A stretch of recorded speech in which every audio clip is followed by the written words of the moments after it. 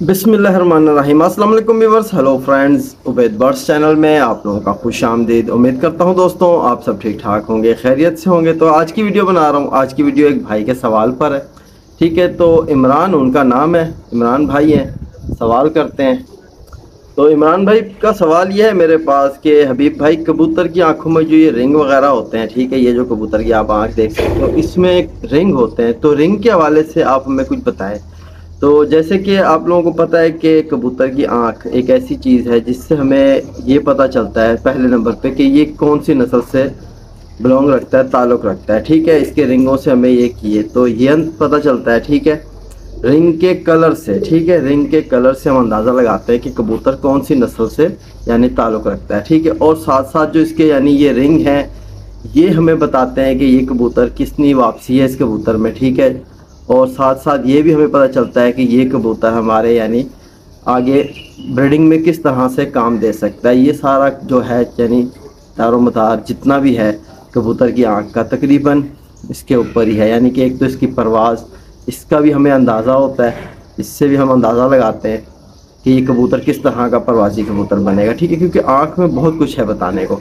तो एक तो माशाल्लाह आँख जैसे आप देखो, कि देखने के लिए होती है, ठीक है? लेकिन साथ साथ इसके अंदर बहुत चीज़ है जो हमारे यानी शौक़ में हमें यानी बहुत कुछ यानी फ़ायदा पहुंचाती है। ये आँख ही होती है, ठीक है, जो हमें काफ़ी हद तक फ़ायदा पहुंचाती है। अब अक्सर ऐसे भी होता है ना कि किसी शौकीन के यहाँ जाओ कबूतर लेने तो कबूतरों के पर जो हैं कटे हुए होते हैं तो हम यानी उसे किस तरह अंदाज़ा लगाते हैं कि कबूतर यानी अच्छा है कि बुरा है और इसमें क्या क्वालिटी है, क्या क्वालिटी नहीं। जिस तरह आपको पता है कि कबूतर हाथ में पकड़ने से काफ़ी कुछ समझ आ जाता है ठीक है? तकरीबन सेवेंटी परसेंट जो है ना कबूतर हाथ में आने से बता देता है कि मैं कितना यानी कि अच्छा हूँ ठीक है? कि, किस कदर यानी में खूबी है। तो जैसे आँख ये हो गई बाकी दस परसेंट ठीक है? अब कबूतर का जो ये स्ट्रक्चर है हड्डी जोड़ ये दस परसेंट ले लो ठीक है? अब कबूतर के पर जो है बाकी इसको चेक करके दस परसेंट ये ले लो।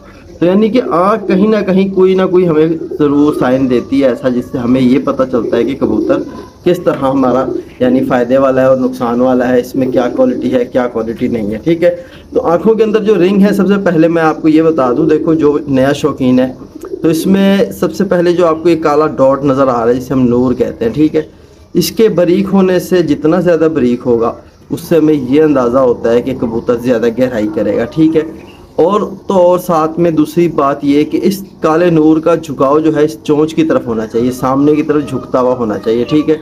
तो ये हमें अंदाज़ा हो जाएगा कबूतर जो है ना, घर के ऊपर ही रह के प्रवास करने वाला है लंबा नहीं चलने वाला। है एक तो ये क्वालिटी यानी दो बातें जो मैंने आपको बताई हैं, जितना काला नूर बरीक होगा, ठीक है, कबूतर घर के ऊपर मतलब ज़्यादा गहराई करेगा, ठीक है? और इसका अगर झुकाव चोंच की तरफ़ होगा तो कबूतर यानी छोटे गेड़ों में ही रहेगा, यानी छत के ऊपर ही रहेगा, लंबा नहीं चलेगा, ठीक है? अब यानी कि इसके साथ होता है, ये काला नूर है, काले नूर के साथ आप देखोगे तो अब तो कबूतर की आँख में मैं दिखा तो नहीं सकता, लेकिन मैं सिर्फ़ आपको बता रहा हूँ, जो नया भाई है, जो यानी समझना चाहता है तो कबूतर हाथ में लेगा, पकड़ेगा तो उसको ये चीज़ें नज़र आएँगी, जो मैं बता रहा हूँ, ठीक है?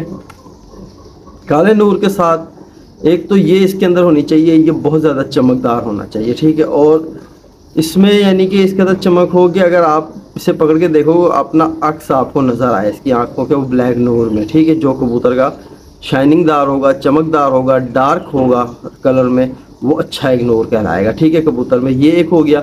अब इसके साथ साथ जो है, आप इस नूर के ऊपर ज़रा देखो तो एक सर्कल सा आपको बना हुआ नज़र आएगा, ठीक है?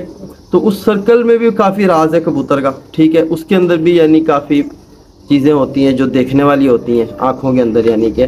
तो फ़र्स्ट जो इसका मतलब रिंग आ जाता है ना काले नूर के बाद, पहला जो रिंग आता है, इस रिंग से हमें ये पता लगता है कि कबूतर कौन सी नस्ल से बिलोंग रखता है, ठीक है? अब यानी कि अगर ये पहला रिंग कबूतर का फुल सफ़ेद नज़र आ रहा है आपको तो ये क्रॉस की निशानी है, ठीक है?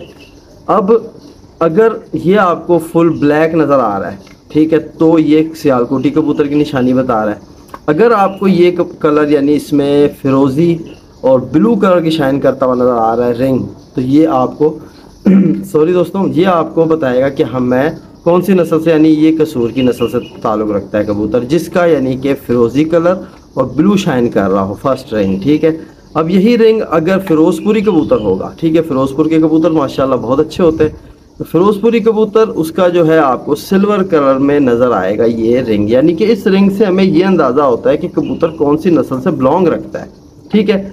अब यानी कुछ कबूतर ऐसे भी होते हैं कि बिल्कुल यानी शक्ल सूरत से कुछ और दिख रहे होते हैं, ठीक है, लेकिन उनकी आँखों में हमें ये अंदाज़ा हो जाता है कि इसके अंदर यानी कौन सा कबूतर क्रॉस हुआ हुआ है। तो अब आ जाते हैं ना, ये जो इसके फ़र्स्ट रिंग के बाद जो ऊपर हल्की सी ज़मीन होती है, ठीक है, ज़मीन किसी कबूतर की सफ़ेद होती है, किसी की यानी कि होती है येलो कलर की, ठीक है, ये ज़मीन होती है, फिर इसके ऊपर होते हैं लाल ज़रात के डॉट या काले डॉट या ब्लू डॉट तो ये भी हमें नस्ल का बताते हैं कि ये कबूतर कौन सी नस्ल से ताल्लुक़ रखता है।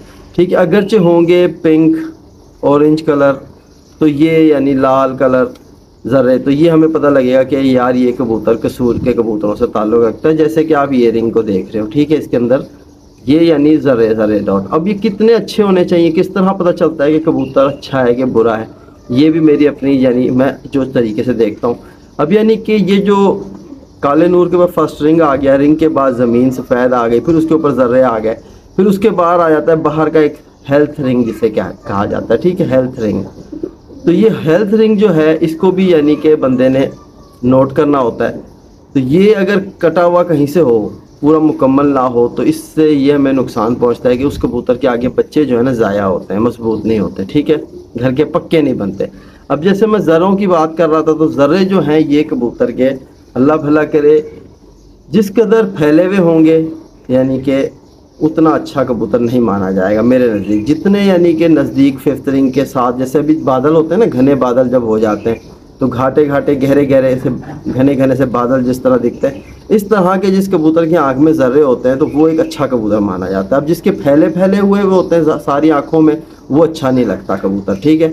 यानी ये एक हर किसी की अपनी राय, अपनी पसंद होती है। मैं अपनी पसंद की बात कर रहा हूँ, लेकिन जिस तरह आपने आँख के वाले से पूछा तो ये यानी कि बहुत मेन चीज़ है कबूतर के अंदर। ठीक है अब आ जाओ, यानी इसका जो फिफ्थ रिंग जो बाहर का, यानी जिसे, जिसके, ये बाहर का जो रिंग है, ठीक है, ये पलक के अंदर आपको एक और रिंग दिखेगा। ये जो रिंग है कबूतर का, ये होना चाहिए, यानी कि मुकम्मल।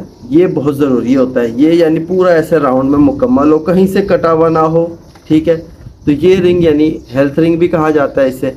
और यानी कि ये एक ब्रीडर का मतलब निशानी है कि इस कबूतर के अंदर आगे हमें बच्चे किस तरह के मिलने वाले हैं, ठीक है और साथ साथ इसके अगर उस रिंग के बाहर ऊपर की ज़मीन पर चलो तो ये जो ज़मीन है कबूतर के अंदर, अगर वाइट हो, ठीक है तो वो यानी मेरे नज़दीक अच्छा नहीं होता कबूतर। ये होनी चाहिए हल्की सी ब्राउन या ग्रीन कलर की, ठीक है, इस तरह की इसकी ऊपर की ज़मीन होनी चाहिए। आँख फिफ्थ रिंग के बाहर के हिस्से की बात चल रही है?